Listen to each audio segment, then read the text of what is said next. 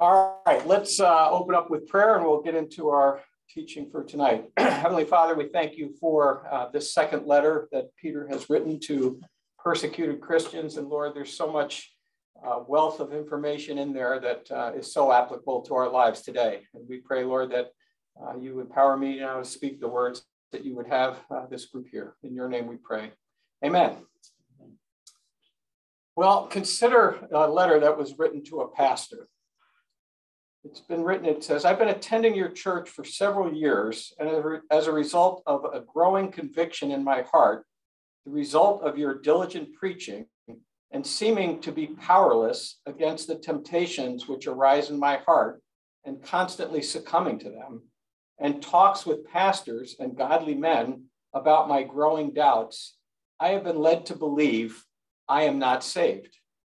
How sad it is for me not to be able to enter into heaven because of the sin which clings to me and from which I long to be free.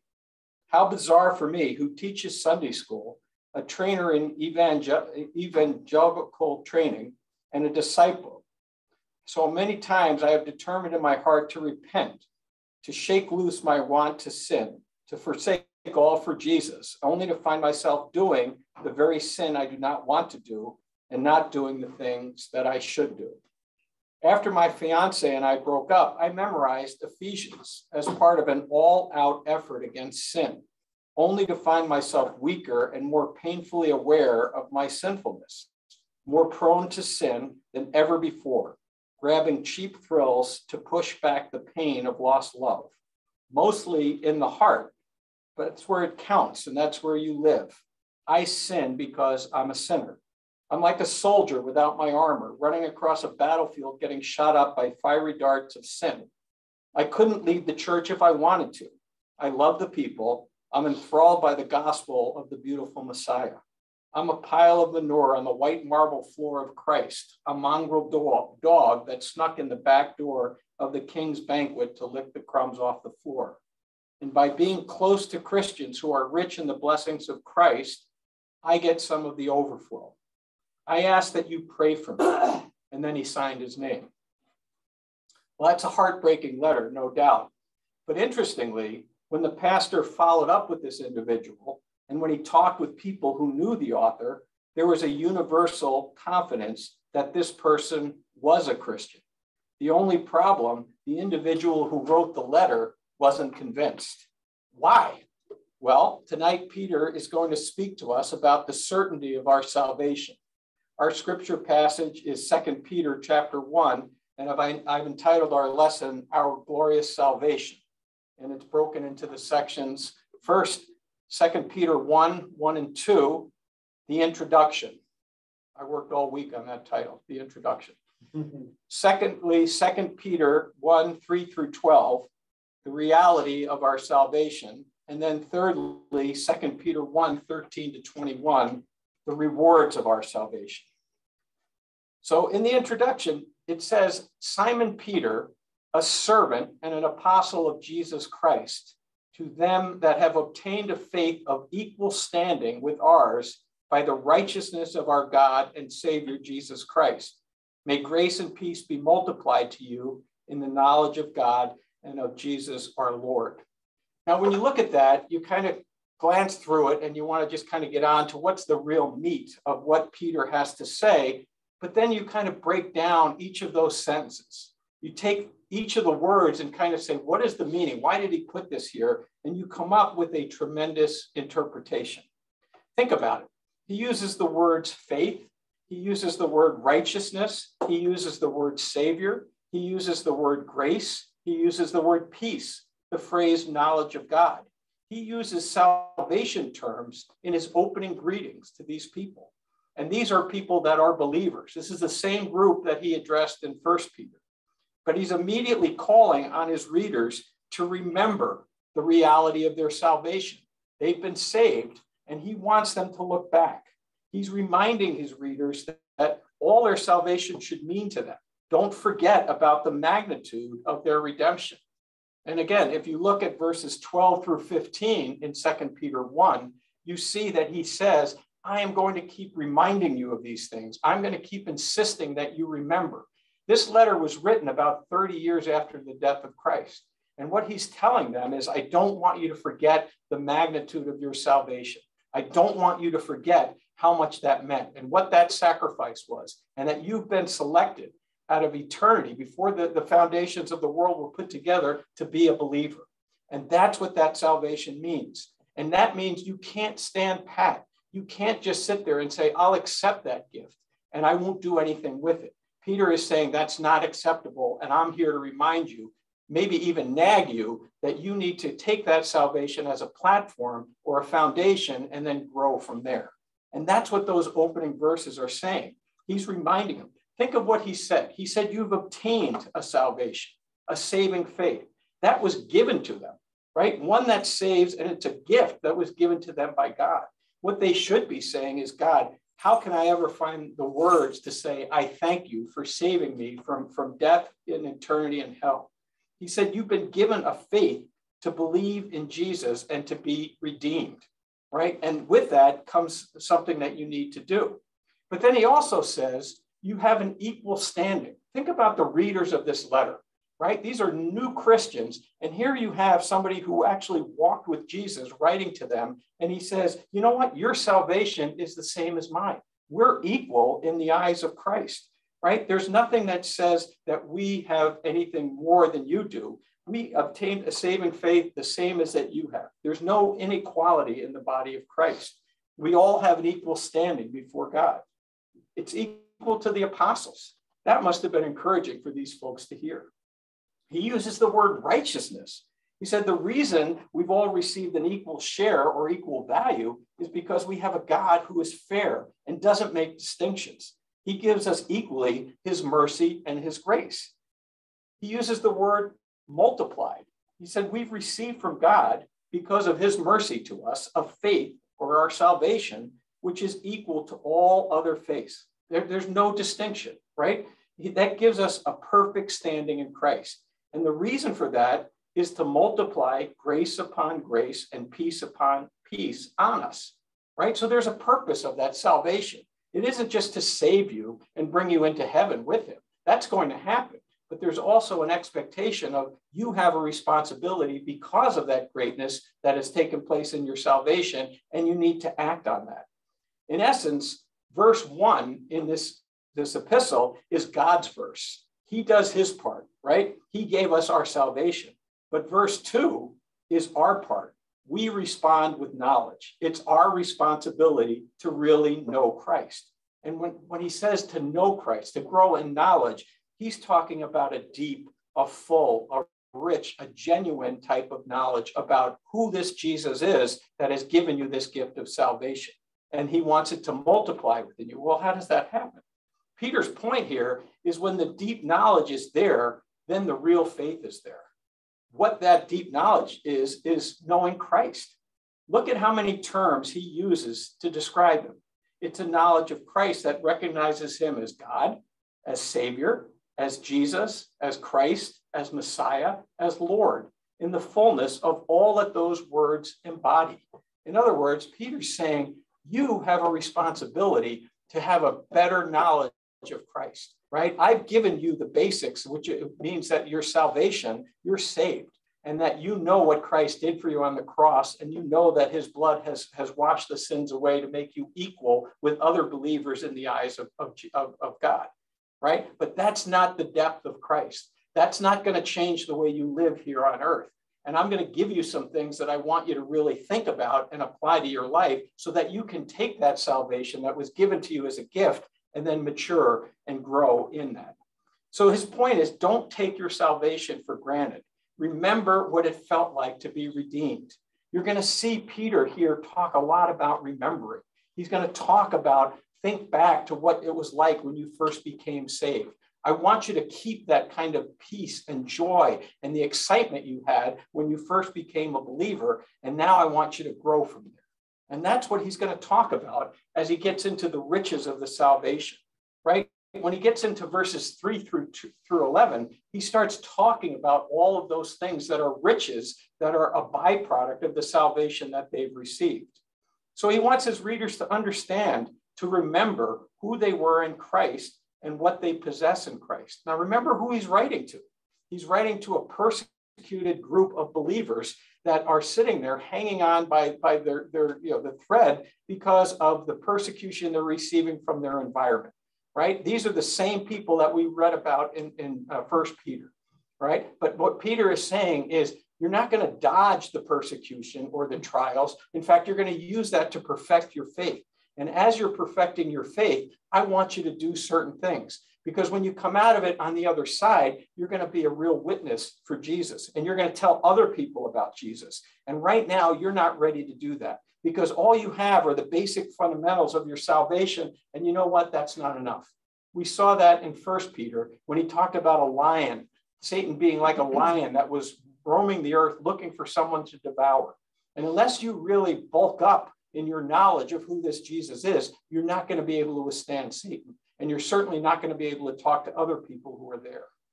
So that's what he's talking about. He's saying you have everything that you need. When you had your salvation, you received a divine power. That's the same power that created the universe. It's an unlimited power that you now have at your disposal. He's given us these things, right? When you receive salvation, you came into instant possession of all things that pertain to life and godliness. Well, what does he mean by that? Well, he said, You have it all. It's not like you're a caterpillar that it someday is going to become a butterfly. He said, It's more like you're a newborn baby. You're born again. You have everything that you need. You have all the composite parts and a potential that allows us to be the person that God desires. So you take that infant with all of the natural appendages and everything that he has, and now as that baby grows in knowledge and maturity, so too will you grow in knowledge of your salvation. What does that mean? Right? And you're going to become more and more spiritually mature as you do some of these things that I'm going to outline for you. And these things he talks about are life and godliness. Well, what does he mean by that? Well, the life he's talking about is the life of God in the soul of an individual. Well, where's that? That's internal, right? That's the Holy Spirit that now has been embedded in you with your salvation. And the godliness he's talking about is the byproduct of that holiness inside you that then is manifest externally. That's what he's talking about when he says life and godliness. It's the power that you have right now, complete, to transform on the inside and the outside and the capacity to work out our salvation in accomplishing God's plan for us. And he's going to build on this, and we'll see that as we go through the chapter. And, and if we don't ask God for strength and leading, right, he's already bestowed it upon us. We don't need to ask. We have it. We have it right there. And it's in a measure beyond our wildest dreams. God has supplied believers spiritual gifts.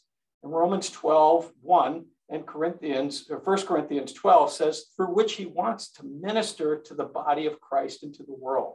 And sometimes we stifle those things because of an inadequate understanding of the power and resources we already possess. What Peter is saying to these people is that, you know what? You've been saved. You've been selected before the foundations of the world were laid. And now you have everlasting life. But what you do on earth now, what are you going to do to glorify me? Because every believer has spiritual gifts that they've been given. But if they're not used, they lie dormant. And what Peter is saying is, I don't want them to be dormant. And I want to show you how you can mature. I want to show you how you can be sure of your faith, right? And that's what is our responsibility of our salvation, not to let go and let God. Have you ever seen that bumper sticker, right? It shouldn't be that. It should say, hold on and let God right? Because Peter's saying, because God has given us this divine power and this precious and very great promise of these spiritual gifts, and he's taken us out of the corruption of the world, for that very reason, you do your part, right? In essence, give everything you have. Make your salvation a priority. Make your spiritual growth a priority. In essence, give everything you have. We have all we need, but now you have to apply yourself to that power. And that's what he's encouraging these believers to do, to understand that the salvation doesn't stop there. And you say, you know what? Boy, that's great, Peter. I just wish you could tell us how to do it. Peter does, right? As we start to get into these verses, he says this He says, make every effort to supplement your faith. So, in other words, you believe God, you trust God, okay. And he, Peter emphasized it's not just a saving faith, but it's a living faith, right? And so you live by faith every single day. You remember, you remember your salvation. You remember what it was like when you became a Christian. You trust God every day to do the work he wants you to do. That's your platform, that's your foundation. But then he says, you take that faith as the foundation and add to it virtue. That's the first one he gives us excellence of life. The best thing that a Christian can do is to fulfill all that a Christian can be. Be like Christ. Well, how do you do that? Well, it means you got to do some work. It means you got to understand who was Christ. You got to understand what the definition of all of those words were. What does it mean to be your Messiah? What does it mean to be your Lord and Savior? That takes some work, right? So he's saying that's the first thing you want to do. But when you have faith, then, then you want to add virtue, which we talked about, but then you want to add to that knowledge. Well, that's practical wisdom. True knowledge acts, it's not stagnant. So Peter's saying, get into the scriptures, pray, ask for discernment, use that divine power that you have in the Holy Spirit to really kind of convict you to say, what is it you want me to learn, Lord? What is it that you need me to uh, eliminate from my life? What is it that you want me to do to my neighbors? What is it you want me to do to other people I come into contact with? Right? That's the foundational knowledge that he's saying if you have that salvation, now these are the things that you're going to do to become more and more mature. Well, after knowledge, he says self control as you learn more about what God wants you to do in your life, you're going to start saying to some things, you know, I used to do that, but I'm kind of getting convicted now that maybe that's not something I should do. So I'm going to start pulling away. I'm going to control the passions rather than being controlled by them, right? I'm going to break the will of sin. I'm going to have more self discipline. I'm going to bring all things into the capacity and the captivity of Christ. What does that mean? Well, that means you kind of got to study the scriptures and you got to understand what Jesus is saying. This is what you should do and this is what you shouldn't do. And then you take it into your own life and you start to kind of look at it and you run it through that filter and say, boy, is this kind of captive to what Christ would want?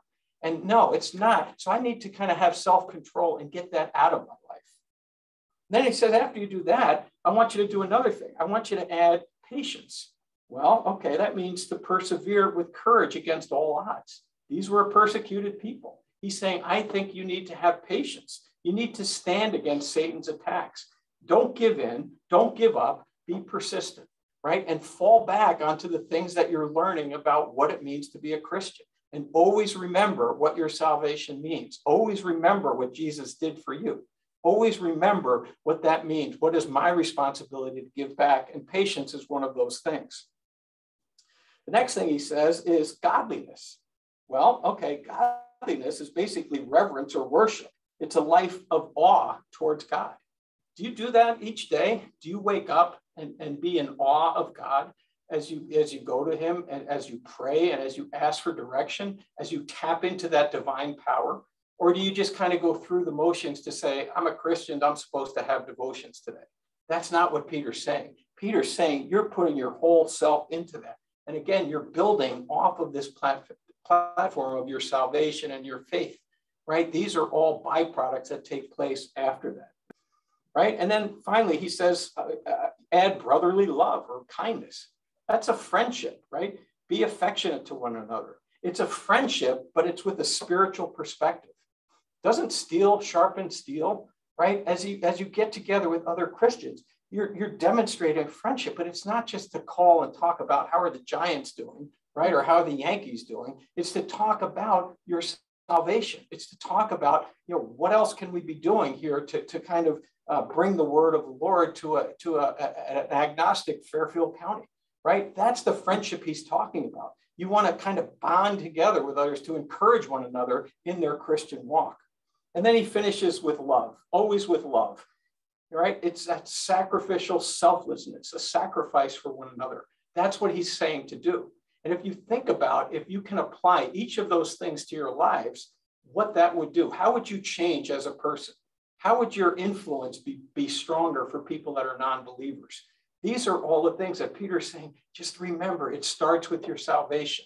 And you're a Christian, but that's not good enough. I need you now to become a more mature Christian, and with that, manifest the fruits of the Spirit.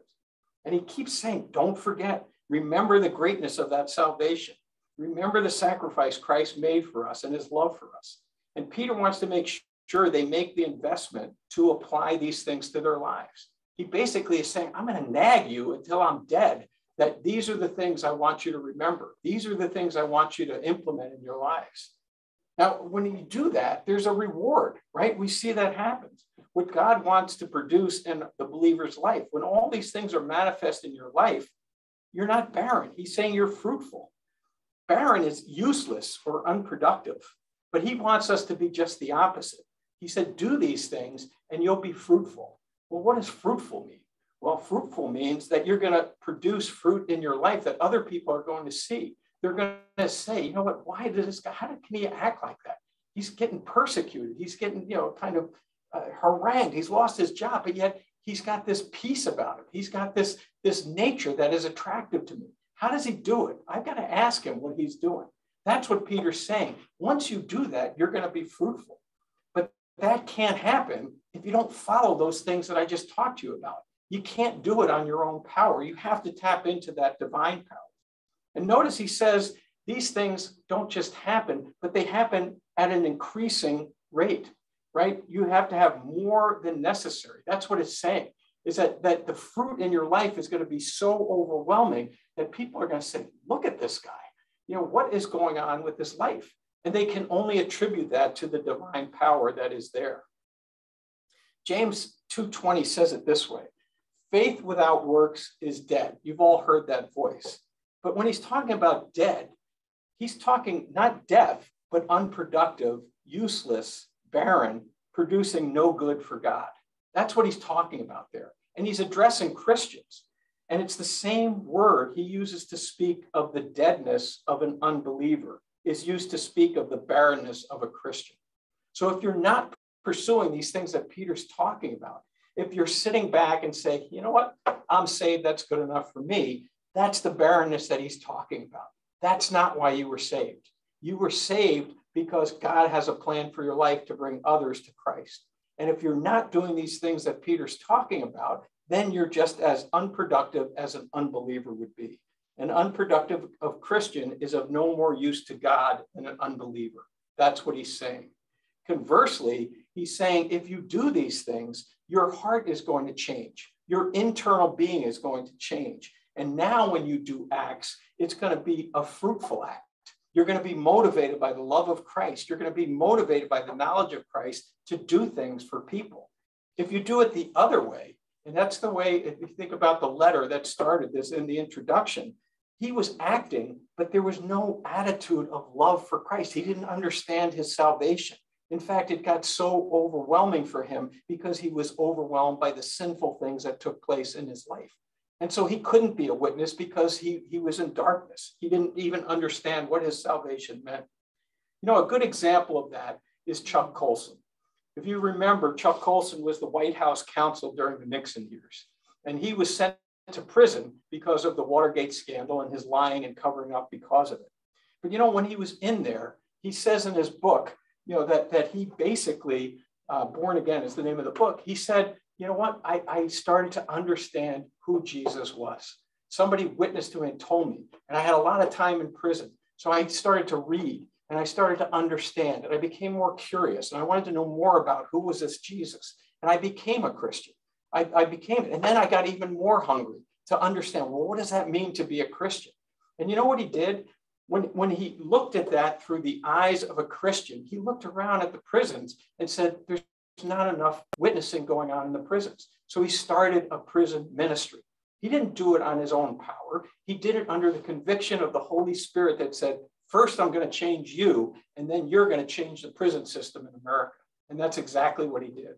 That's what, what Peter is talking about here, is if you become fruitful, right, these are the things. You're going to look around in your environment. You're going to say, I can change this, I can change that, but you're going to do it through the filter of a spiritually mature Christian not someone who's saved and sits back and says somebody else can do it. No, you're going to be motivated to do it because of your knowledge and, and the increasing conviction of the Holy Spirit.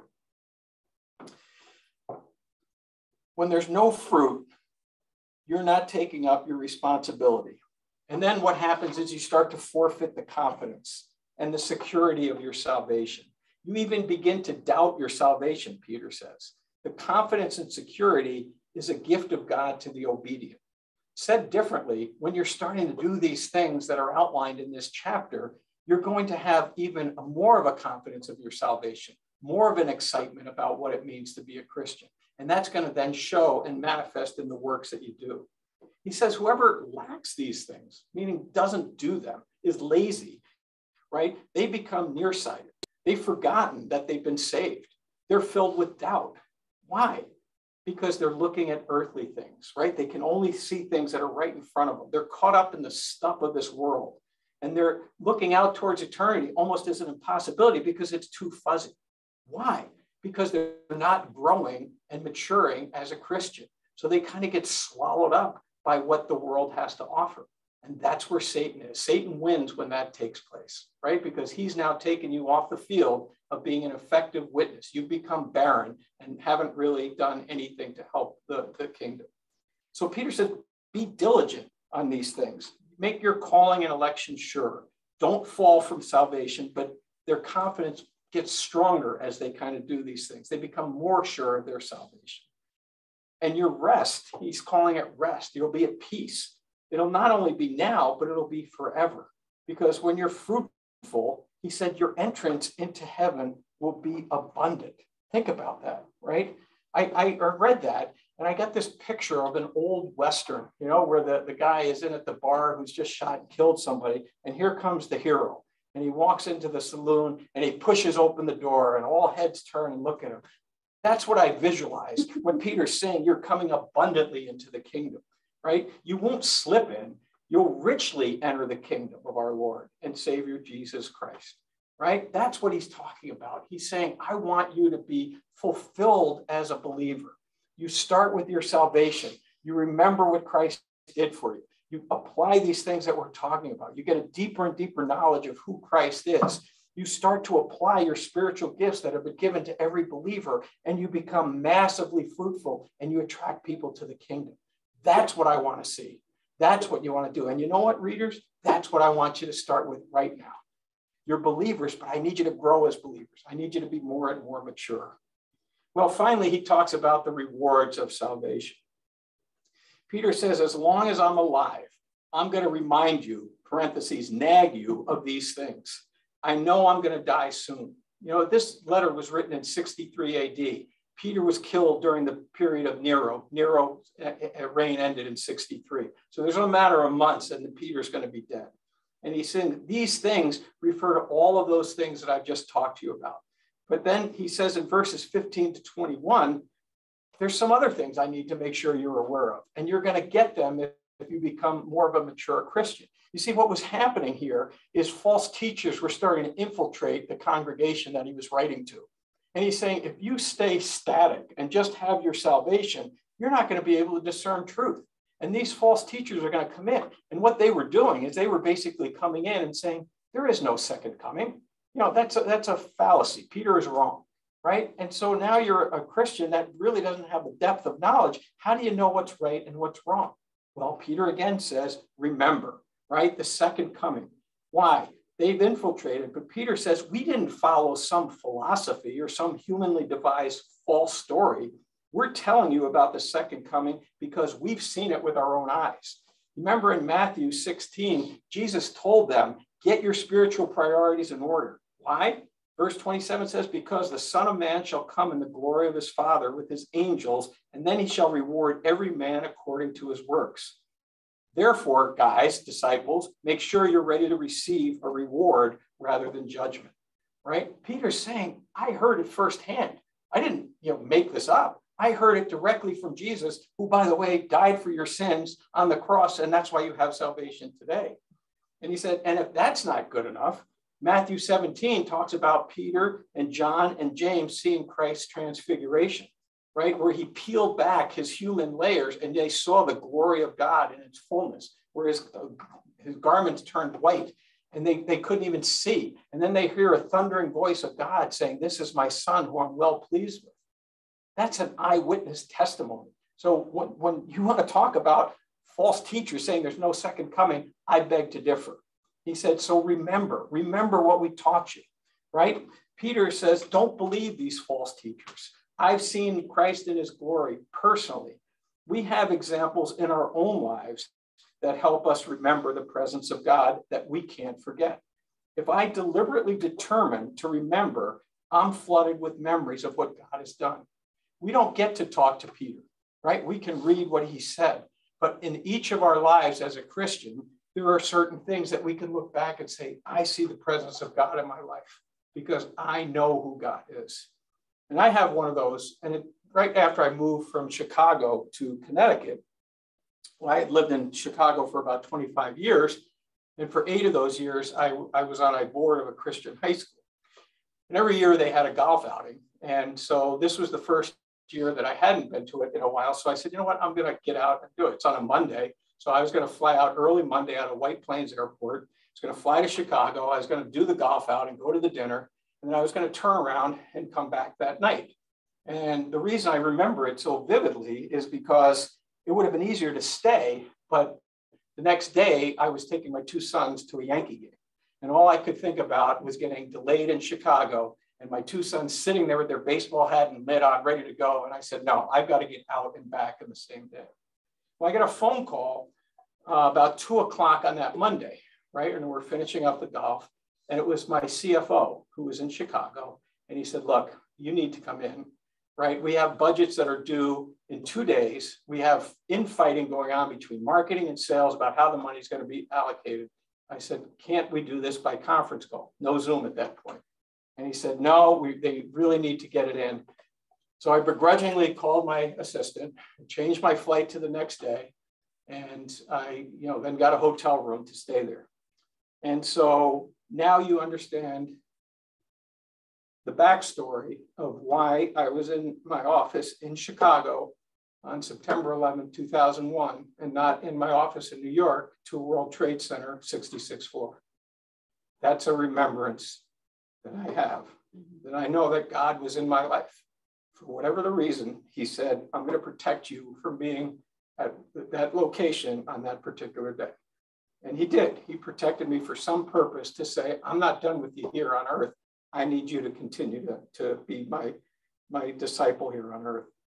So when you've seen evidences of God's revelation in your lives, it helps you reestablish, to remember your salvation, to remember there is an omniscient God that is looking out for your benefit, that has a plan for your life that he wants to see implemented. And again, what Peter is telling us you can only do it if you're going to mature. You can only do it if you follow these outlines that I'm giving you in this, this epistle. Peter said, I'll remember the revelation of God in my life. He walked with him. He was with Jesus. He knew Jesus was God. He knew everything that was there. What is your remembrance? What do you hold on to to help you know that your salvation is true and it is real? If you're focusing on those things, there's no room in your life or in your mind to get cluttered with other things that happen in the world. And praising God is simply reciting the things that He's done for you, which involves His attributes and His works. I praise God every day for keeping me in Chicago that day. If you focus on false doctrines of living, you're going to wash away your memory of all the things that God has done in your life. And that's not what you want to do. And he said, Remember the resources of your salvation. Don't forget the scripture. That's how he finishes his first chapter. The Bible is the greatest source for us to validate what's going to happen in our lives. See the readers for Peter, the second coming. It's all there. We can read about it and we know with certainty. When someone is telling us it's a myth, when someone's telling us that can't possibly be true, we go to the Bible for the truth. And we go there because there's knowledge, and we base our foundation of our salvation on the knowledge that's in that scripture. So until the day when Christ returns, you got to look to the word of God as a man in pitch blackness looks to a light. What a great illustration, right? It's our, our saving grace, it's our knowledge, it's our truth that we have to base our life on that. And so the conclusion Peter says here is remember the word of God. It's the surest word. Run to it as you would a light in the midst of darkness and have confidence in it because you know that it didn't come from any private origination. It wasn't the invention of any man, but holy men of God spoke as they were carried along by the Holy Spirit. Why run to the word? Because it's authored by God's Spirit. And that's what Peter wants us to remember as well. We have the scripture to really guide our life and finish it. Well, as we conclude tonight, let's go back to the opening story about the man who sent a letter to his pastor questioning his salvation. Maybe some of you have been in that same position. Ask yourself this question How many times have you asked Christ into your life? Right? You did it way back, but now there's been this period of barrenness. So you say, well, you know what? Maybe I'm not sure. Maybe I better do it again. Right? If you're there, or if you've done that, right? You've lost maybe a passion for your salvation. Maybe you're even questioning if you really are saved, like this guy did in the in the, the opening. So how do you avoid that feeling of uncertainty? Well, many of you know that I spent three weeks in Israel this past summer, a fantastic trip. But one of the most impactful trips was one we took to a sheep factory. You heard it right, a sheep factory. It was an incredible scale of an enterprise. I mean, it was a huge warehouse. And on one side, you would have trucks that would unload these sheep that were filthy, by the way, and they would bring them in and they would actually shear them right there. And they had people that were taking this wool and they were dumping it onto a conveyor belt, which then was kind of run through. First, it was rinsed, then there was some detergent that was put on top of it. And then what would happen is it would be rinsed again. And then it went into another portion of the conveyor belt, and they had these claws that kind of pulled it apart. And then it went back in and got more detergent and rinsed, and then was kind of flipped upside down, more water, more rinsing. And that water was black by the time it got out. And if you remember, we talked about sheep last week. We talked about how they secrete this lanolin, this oil that basically acts almost like a fly trap, right? So the dust and the dirt and, the, and uh, everything just kind of sticks to it. So it gets sheared and it has to be cleaned before it can be used. So as it goes through this conveyor, it's then dried and then at the other end of the, the factory, they're, they're binding it together in these big bales, and then they put it onto a truck. And, and it, was, it was kind of interesting to watch that whole thing. But what Peter is telling us tonight is we can't live out our salvation alone. We need to tap into the divine power. When Peter says you've got everything you need, he means it. We have the Holy Spirit right? We tap into the power of God to maintain the enthusiasm of our salvation. That's what he's telling us. But picture yourself on that conveyor belt in the sheep factory, being cleansed and rinsed of your sins by the power of God to forgive us our sins. Imagine if you did that every day, multiple times a day, drawing on God's power to forgive your fresh sins, to clean the dirt of the world off of your earthly body. How? Well, reading the word, prayer, reflection, repentance. You see, that prepares you every day to go out and accomplish the purposes of God in your life. Our friend in the opening had become so overcome with his sins and self help solutions that he lost his way. He became barren. Satan wins by re- rendering a Christian ineffective, fruitless, and barren in God's purpose for his life. That's what happened to the guy who wrote the letter. He was saved. He was just so clouded with clutter, and the communication between him and God were done. Why? Because he tried to do it on his own power. He didn't look and tap into that divine power. Because if he did, the conduit would have been clear instead of him being overwhelmed to the point that he doubted his own salvation. And we can get there the same way if we don't apply the things that Peter's talking about here. So Peter says you have the basics, you have the knowledge, you have access to the power to regenerate you each day. Do you have the will? That's what he's asking these Christians. Peter says, as long as I'm alive, I'm going to keep reminding you. And the beauty for us, if we forget or if we temporarily lose our passion, we have Peter's letters to help us remember. We have the scriptures. And if your life is not virtuous and godly, it's not the absence of spiritual resources, it's the absence of your will to apply them to your lives. Peter basically could have said it this way that it was said by Paul in Colossians 2 9 and 10. All of God is in Christ, and all of Christ is in you. Remember that power and use it to achieve God's purpose for your salvation. Let's pray. Heavenly Father, we're stunned by the, the wisdom Peter has. We see it, we read it, Lord, and we know in our lives we're guilty of some of the same things that he's writing to these Christians about. And Lord, we pray tonight that people have been convicted in their own lives. Perhaps they've fallen back a little bit. Perhaps they're not pursuing you with the priority that you would like them to do. Perhaps they're not using their spiritual gifts. They've become barren. And Lord, we pray that you will convict them to go back and reread this chapter and to understand what is it they need to do to kind of shed this thinking, to shed the loss of their, their excitement and passion for their salvation and their desire to become more spiritually mature to be used by you as a tool to bring others to Christ. We ask these things in your name. Amen. Thanks, Jack. Thanks, Jack. Thanks, Jack. Terrific. Amen, Jack. Take care, everyone. Thanks, Jack. Bye, everybody. Bye. Hi, everyone. Thank you, Jack. Good night, everyone. Good night. Good night.